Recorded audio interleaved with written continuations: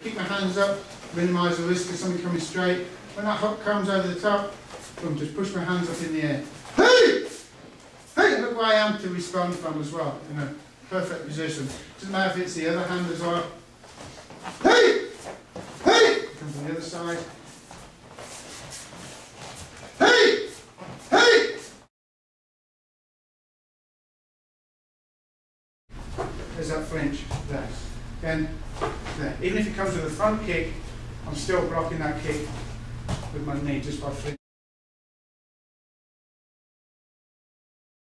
That front hand is coming across the body. You're going to blade your body, twist the foot so you're using your body to help with that block, not just your arm.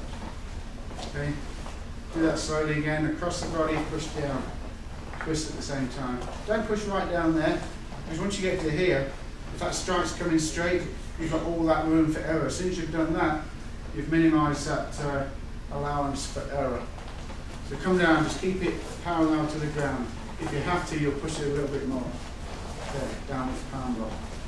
We do that quickly.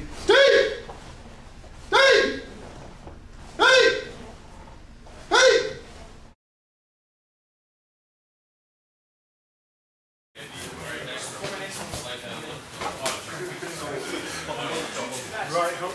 Very nicely. Right hook, yeah. Left trying. No, wait, wait, wait. Wait a. Yeah. Not throw you. Start garbage.